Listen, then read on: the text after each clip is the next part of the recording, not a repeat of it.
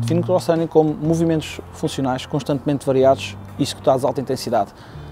Basicamente, qualquer pessoa pode usufruir do treino, o treino não tem de ser igual para todas as pessoas, mas todas as pessoas podem extrair algo positivo do seu treino. Eu defino o cross-training como uma mobilidade super uh, global, porque engloba um, tanto a capacidade aeróbica, um treino de corrida, de remo, de bicicleta, com treino de alterofilia, levantamento de peso e o treino gímnico, as pull-ups, as, as, elevações, os fundos.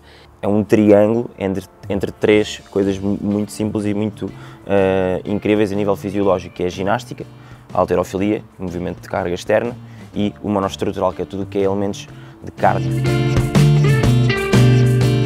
Quando me inscrevi neste curso, esperava conhecer um bocado o mercado que vou enfrentar. Como estou no último ano do curso da faculdade, queria saber a opinião dos profissionais que estão na área. Este curso vai-me diferenciar em termos profissionais porque atualmente existe muito... é preciso cada vez mais individualizar o treino para os diferentes tipos de pessoas e com quem vamos trabalhar e prescrever exercícios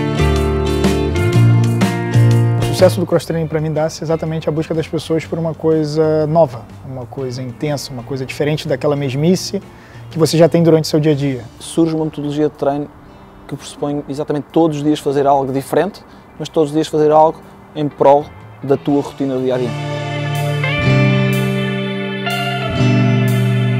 Este curso vai sensibilizar-me no facto de me estar a alertar para possíveis fatores de lesão e de critério de êxito. Como fisioterapeuta, eu acho que eu tenho uma mais-valia gigante, porque eu tenho exatamente essa, essa outra visão da coisa, não ser só ligada ao desporto, ter a base da, da, da, saúde, das lesões, do conhecimento dos músculos, das articulações e conseguir juntar os dois tem sido espetacular. Faz-me ter um compromisso muito maior com o meu treino, faz-me ter um compromisso muito maior com a minha nutrição, faz-me ter um compromisso muito maior com o meu tempo de repouso, algo que numa, nenhuma metodologia até hoje me teve a capacidade de, de estimular. Portanto, eu acho que mudou muito a pessoa que eu sou hoje em tudo.